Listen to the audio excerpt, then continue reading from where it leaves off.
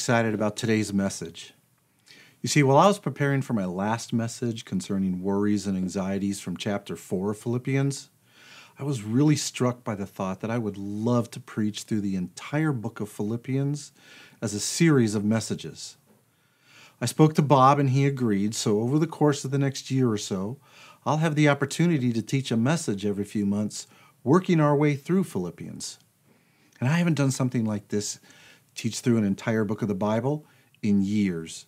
So I'm looking forward to this at the same time I'm feeling a little overwhelmed, but mostly excited. And Philippians is such a great book. Paul, uh, God uses Paul to touch on a few themes in this letter that tell us how to build a better church. And as we go through this letter, we'll see Paul coming back time and again to those same themes over and over unity and love, joy and contentment. Along the way, we'll look at humility and we'll even compare legalism and licentiousness to the liberty we find in the gospel of Christ. Before we get started on the message, though, there are some interesting things about Philippi and the church there that can give us some insight to this letter.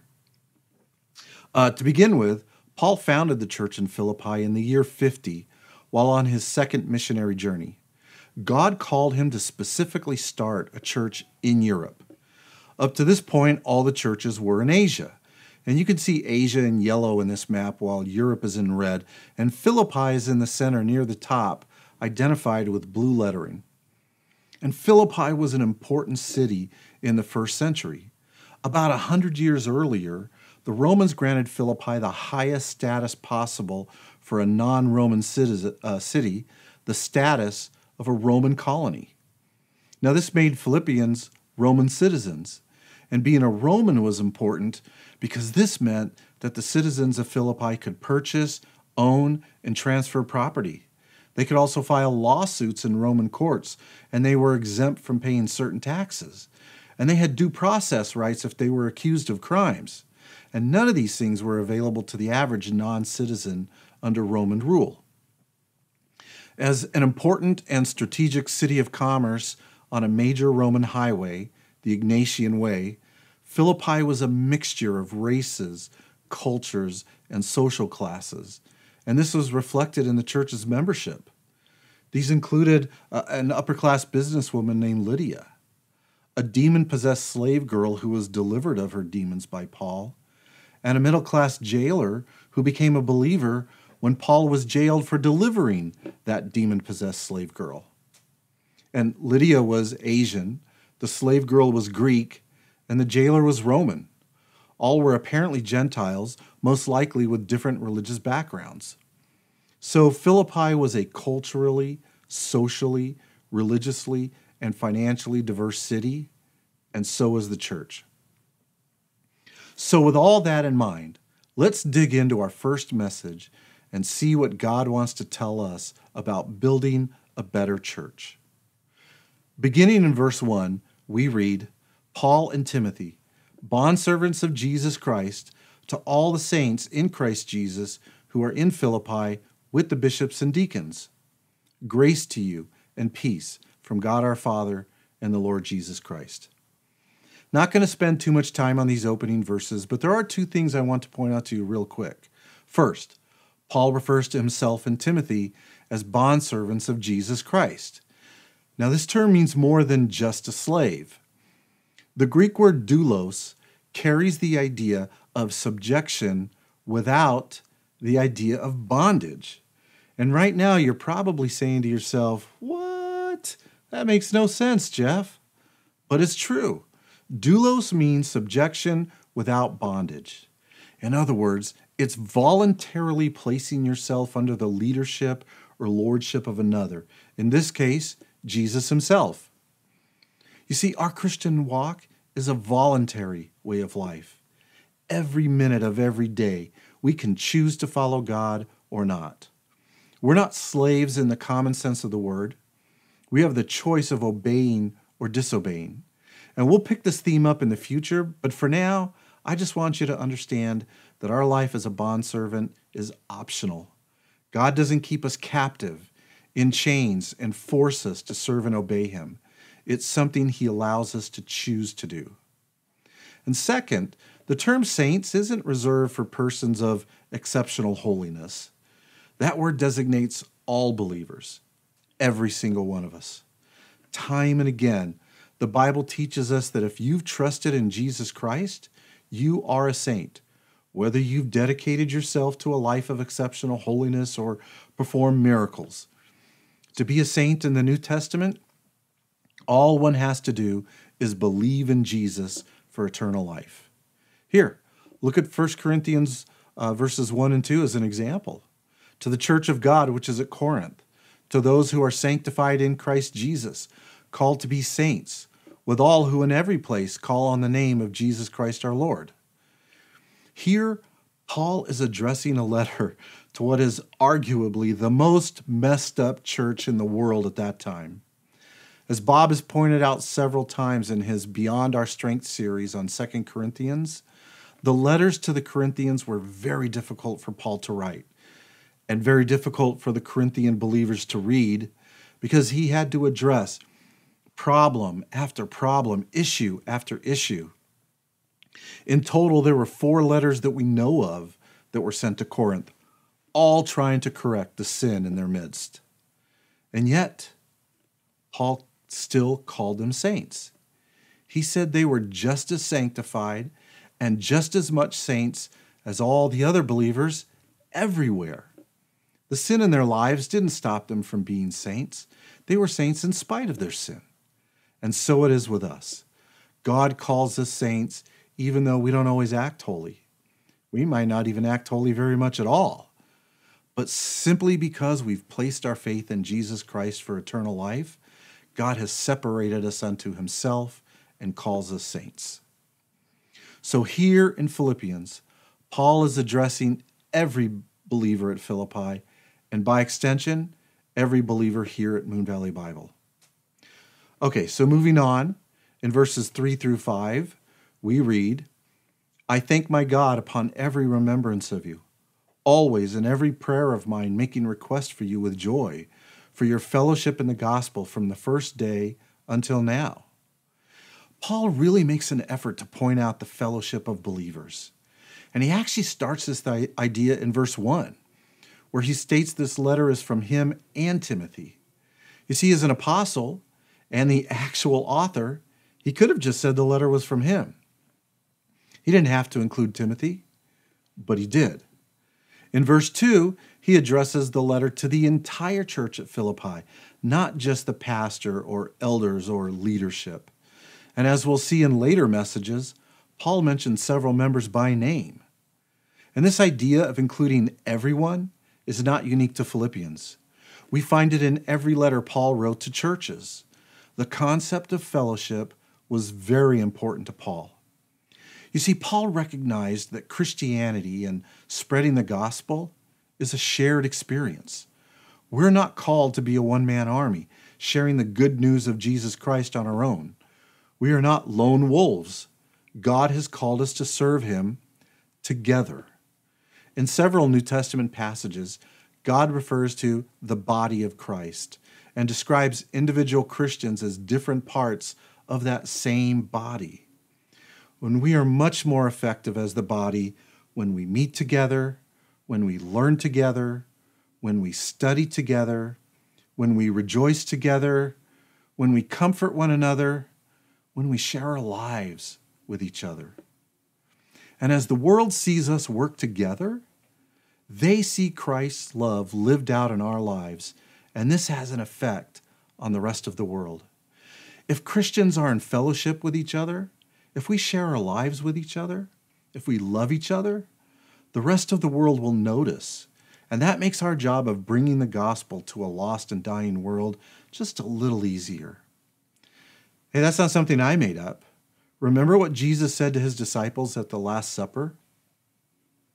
By this will all men know that you are my disciples, if you have love for one another.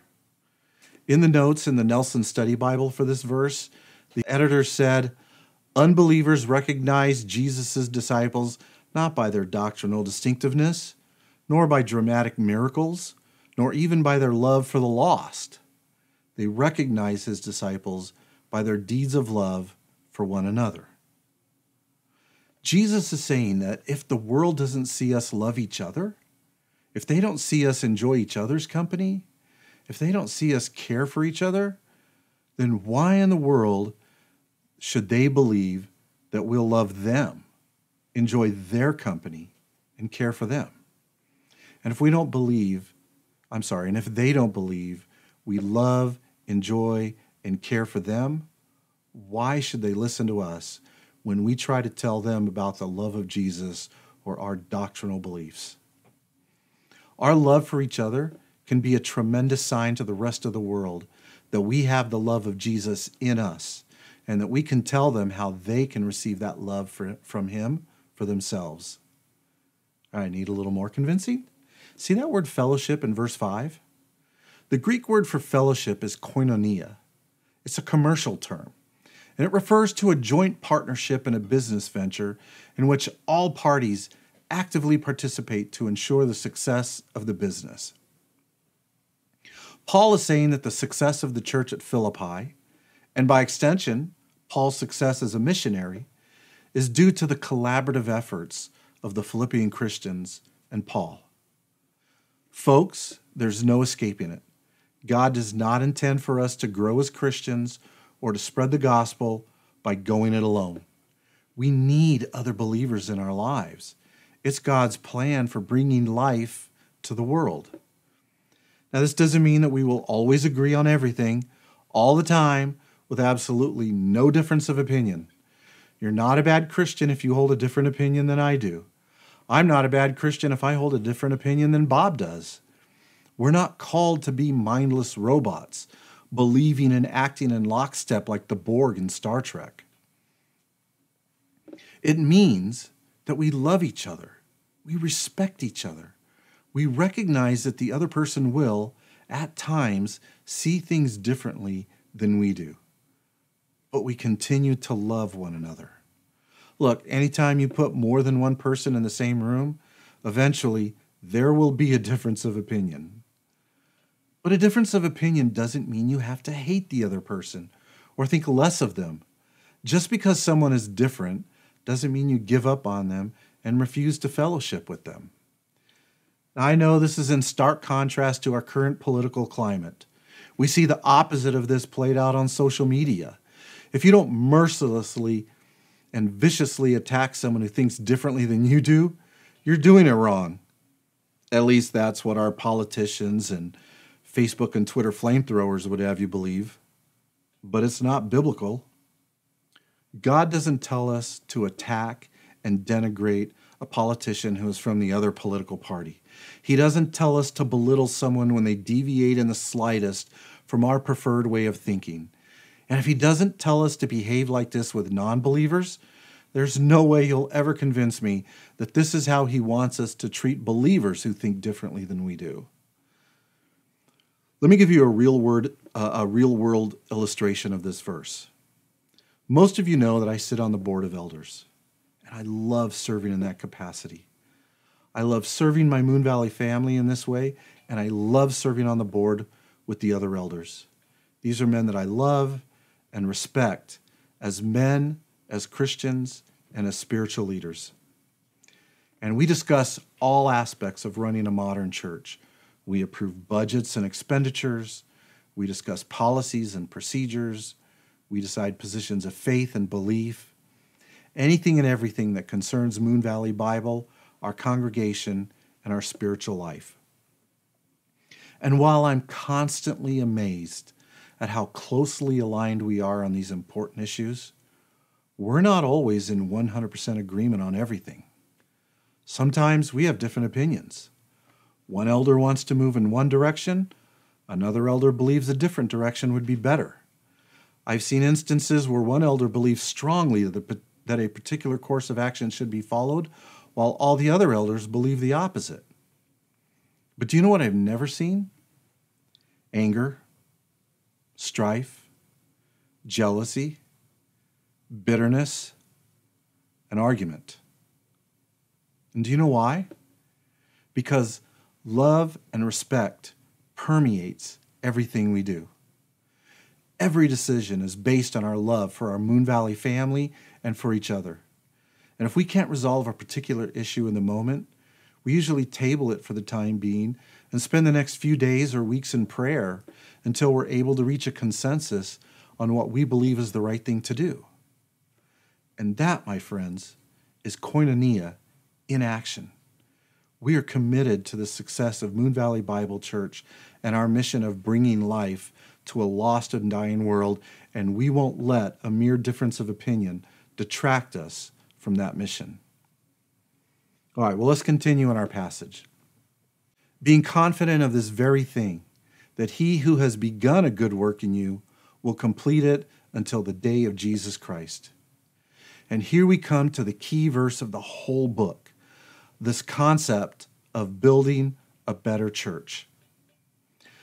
God has begun a good work at Philippi, but the word you is plural, indicating the, that the good work is being done within the entire church, all of the individuals who make up the church at Philippi, not just certain people. Remember, Paul sent this letter to the entire Philippian church, the whole congregation. God doesn't just deal with the leaders, the folks in ministry. He works among every single believer in a congregation. Remember the point Paul made earlier concerning fellowship? We're all called to spread the gospel and bring life to our community and the world. It's not just Bob's job as the pastor. It's not just the elder's job. It's not just the paid staff's job. No, God calls all of us to serve. It's the job of the entire congregation. And it's the entire congregation that God started this good work in, every single believer. Four separate times in verses 4 through 8, Paul uses the word all. It was true in Philippi, and it's true here at Moon Valley. God has started a good work in all of us, and he will continue this good work until the day Jesus returns. And now might be a good uh, time for us to look at our big idea for today's message. To build a better church, God must build a better me.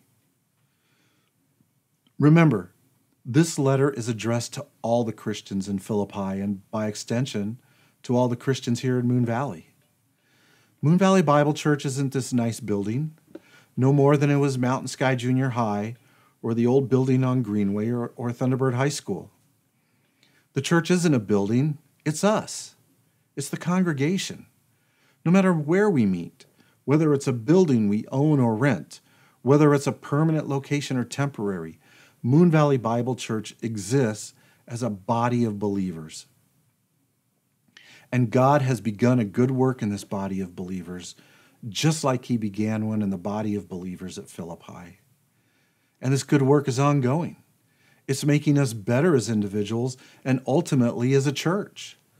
Look at the phrasing Paul employs being confident of this, of this very thing, that he who has begun a good work in you will complete it until the day of Jesus Christ. God has started a good work in us, but it's not yet completed. God is continuing to work with us. He's continuing to make us better, both as individuals and as a church. As I said a moment ago, it's ongoing. But this means we'll never be perfect this side of heaven. No matter how hard we try, no matter how much we want to be, Neither Moon Valley Bible Church nor us as individuals will ever attain perfection here on earth. And I want you to fully grasp this concept for two reasons. One, if you're looking for a perfect church, keep walking. You won't find it here. Actually, you won't find it anywhere. And looking for perfection on earth will always disappoint, bitterly in most cases. Moon Valley Bible and the people who make up Moon Valley Bible are imperfect. We are. We will get it wrong sometimes. We may offend you at some point. We may neglect you at some point. We may fail you in some way or another. We don't want to. It's certainly not our intention, but since we're imperfect human beings, we will. We will do things wrong. I'm not making excuses. I'm being realistic. We are all sinners saved by grace, which means we're all imperfect human beings. Sometimes we fail others, sometimes others fail us. It's a fact of life. But we don't have to let our failures or the failures of other believers destroy our Christian fellowship, our koinonia. With grace and love, we can prayerfully try to work things out. It's hard. It's difficult. It's not fun.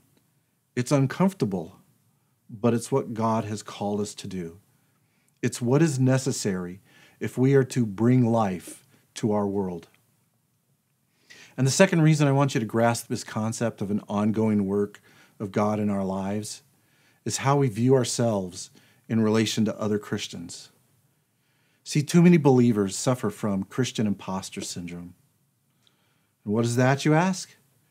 It's feeling like you're a fake, like everyone else is a better Christian than you are, like you're not a good enough Christian, and you live in fear that everyone else will find out just how little of a Christian you really are. Christian author Sam uh, Allberry defines it this way Imposter syndrome is the haunting feeling that you can't really do what everyone expects you to be able to do. It assumes that any success you've experienced was an unrepeatable fluke. You're a fraud. At any moment now, everyone is going to realize that. He goes on to say, there's a similar feeling that easily creeps into our Christian lives as well. We walk into church on Sunday and look around. Everyone else looks as though they belong here. They seem to have the Christian life figured out, or so we think. But Christianity doesn't feel so natural to us. It feels far from second nature. And we can start to think, there's no point. This isn't me. I'm just trying to be someone I'm not. And Davis Wetherell, another Christian author, puts it this way the constant feeling that you do not belong to your own community or that your accomplishments are illegitimate. It's the idea that you look around at everyone else and you think they've got it all together. They live out this Christian life better than I do. They don't have the constant fear and worry that I live with. They don't struggle with the sins that I carry. And they can quote Bible verses till the sun goes down. I don't measure up. I'm not as good a Christian as they are. But I got news for you. You're wrong. You're not any better or any worse than anyone else here.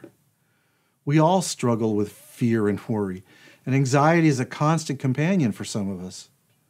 And some may be able to quote more Bible verses than others, but that's not necessarily an indication of their spirituality. It could just mean they have a good memory. And for some, they memorized verses as a kid in Sunday school before they ever believed in Jesus for eternal life. And we all struggle with sin. You may struggle with addictions. Lies are told by Christians just like they're told by non Christians. Perhaps you have a problem with your language. And trust me, you are not alone in that one, not by a long shot. The point is, God said He started a good work in us, He didn't say He finished it. As a matter of fact, he specifically told us he hasn't finished it. Nobody lives a perfect Christian life. Not pastors, not elders, not people who grew up in church, not people who went to Bible college, not even Christians who have been believers for 40 or 50 years or more. None of us live the perfect Christian life that we think everyone else does. And I believe that most, if not every Christian, experiences this feeling of Christian imposter syndrome at some point in their lives, even people we look up to as spiritual leaders. Now, about a year and a half ago, in December of 2019, the president of the Elder Board, Don Newhouse, asked if I would consider serving on the Elder Board. He told me that the current board had discussed and prayed over this for a while now, and they believed that they should ask for my consideration. And I got to tell you, I was stunned. I think for the first time in my life, I actually experienced the sensation of my jaw hitting the floor. As I stated a little earlier in this message, I know every member of the board and I respect them greatly as men, Christians, and spiritual leaders. And now, here they were asking me to serve with them? You know what my first thought was? How have I fooled these men for so long? I kid you not. You can ask Don. I actually told him that. My first thought was that somehow, some way, I fooled these guys into thinking that I'm someone I'm not. I had such respect for these men that I never even considered the thought that I was in their league. There's no way I'm as worthy as they are to serve on this board. And my second thought was a quote from Psalm 51, where David says, uh, My sin is ever before me, and a quote from Isaiah 6, where Isaiah says, Woe is me, I am a man of unclean lips. In the psalm, David is confessing his sin before God and seeking forgiveness. All I could think of was that I'm much too sinful to be an elder. In Isaiah, God has shown him a vision of the Father on the throne, and Isaiah realizes he's not worthy to see this. And all I could think of is, I'm not worthy to serve with these men. And that's how I felt. All I could think of was my sin and that I'm not worthy of this calling. And I even told Don as much. We talked for a while, and I finally agreed to pray about it, but I was by no means certain that I would say yes. Not because I didn't want to, but because I didn't believe I belonged there. I didn't believe I was worthy, and any minute now, everyone's going to see this and call me out on my fake Christianity that's just not good enough for the elder board. But as I prayed over the next several days, I remembered something. I remembered that none of us are worthy of serving God. Pastors aren't worthy of their calling. Bible college professors aren't worthy of their calling. Worship leaders aren't worthy of their calling. Youth leaders aren't worthy of their calling. And elders aren't worthy of their calling. We're all sinners. We all have things we want to hide from the rest of the world, but we can't hide them from God. God knows all about us the good, the bad, and the ugly. And yet, in spite of our sinfulness, in spite of everything we keep hidden from the rest of the world, God still asks us to serve Him. He wants us to serve Him. So after several days, I called Don and formally accepted the offer to serve my Moon Valley family on the elder board. A month later, I was voted in. And although I still know I'm not worthy to serve you or our God in this capacity, I love being on the board. I find joy in serving in this capacity. So don't let this idea that you're an impostor of a Christian rob you of your joy. Don't let it fill you with dread that others will find out you're a fake because you're not. If you've trusted in Jesus for eternal life, you are a Christian, the same as everyone else. You succeed at some areas of your Christian life and you fail at others, just like the rest of us. But God stated that He has already begun a good work in you, and He promised that He will complete it. God does not just start a work in us, He finishes what He starts. In our day to day lives, we may not see the growth, but it's there. We are growing, little by little, bit by bit.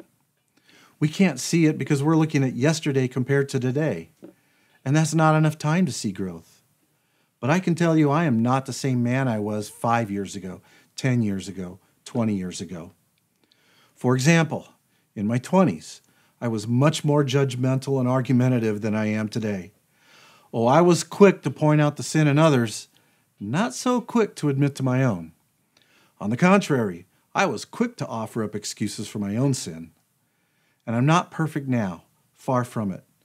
But I am farther along in my Christian walk today in my 50s than I was 30 years ago in my 20s. And you may not notice changes from one day or week to the next, but you will notice changes over time. And these changes that God is making in us, this good work that He started in us, is how he makes Moon Valley Bible Church better. By continuing his good work in us individually, He's continuing his good work in Moon Valley Bible corporately because we are the church. To build a better church, God must build a better me. Let's pray. Father, we thank you for your word, the things you have to teach us about our fellowship with each other. We pray that we would remember that when differences of opinion come up between us. We thank you, Father, for the good work that you've started in us, how you're going to make us better as time goes on, and how you're going to make Moon Valley Bible Church better as time goes on. We pray for all these things in the name of your Son, Jesus Christ. Amen.